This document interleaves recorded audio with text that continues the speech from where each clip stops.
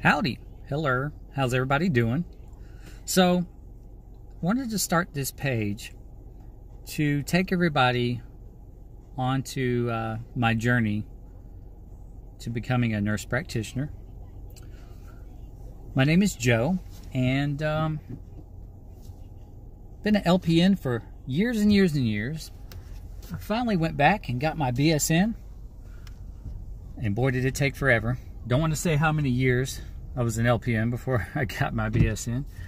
Uh, let's just say I look pretty good for 60. But um, anyway, so right now, the big debate in my life, my life, my life, is um, should I become a psychiatric mental health nurse practitioner or should I get my acute care nurse practitioner? Either one uh, I think would make me very happy. I could see myself um, doing either one. You know, I mean, you know, both have their benefits, and both are, you know, both have a lot of jobs in my area.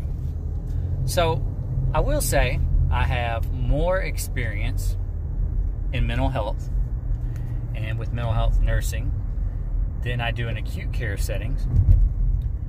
But the idea of acute care appeals to me because there's so, such a wide variety of jobs that you can do in acute care.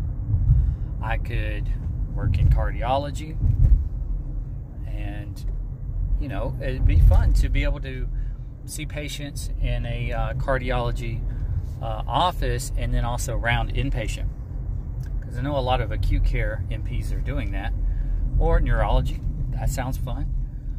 But the one that sounds like the most fun to me, that sounds the most appealing to me, uh, would be a nurse practitioner hospitalist job, right?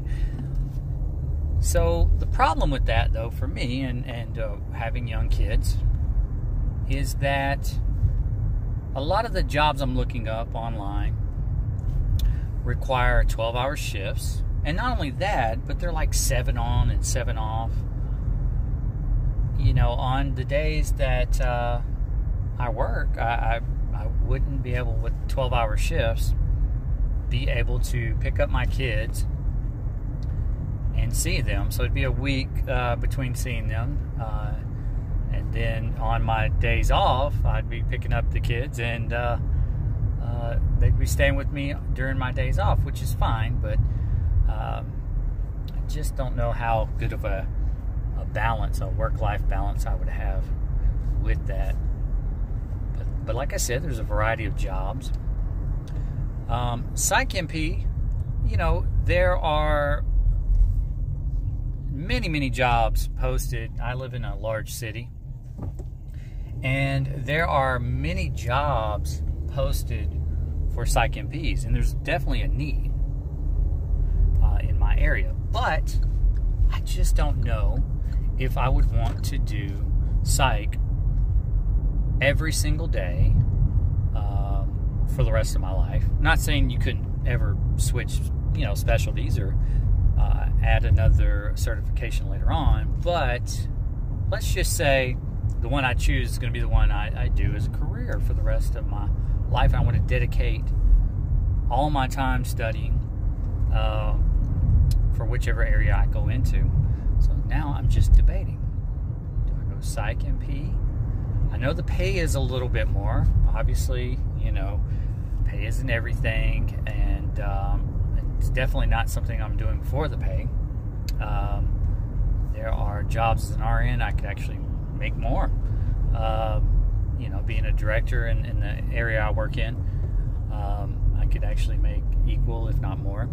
So it's not about pay, but but you know, that's definitely an incentive to do the psych over the acute care. Uh, now, granted, the, the pay's only slightly higher um, from what I've seen, anyway. So I just I don't know which one I want to do or what I want to be when I grow up, so to speak. You know, I'm I'm 60. Um, I'm an old man now, but um, so yeah, so tell me what you think. Um, if you are a nurse practitioner, how did you get to that decision? Um, because again, I could see myself doing both. A lot of people say to me, "Well, Joe, uh, you should pick, you know, whatever your your passion is." But I have a, I have a passion for uh, a lot of different areas uh, of healthcare um, and medicine, and, and I could see myself helping people with mental health issues. That is very fascinating. You know, learning more about Risperdal and Seroquel and medications like that, uh, um, psychoactive medications. But um, at the same time, I, I, feel like I would learn a broader, uh, uh, you know, amount of, of um, I'd have a broader amount of knowledge with the acute care NP. Um, so, and then there's always the family nurse practitioner. I I didn't completely count that one out. Anyway, tell me what you think, and uh, I'm gonna have a lot more videos coming up, um, just documenting my journey. Maybe somebody out there cares. I don't know. Anyway, y'all have a good one.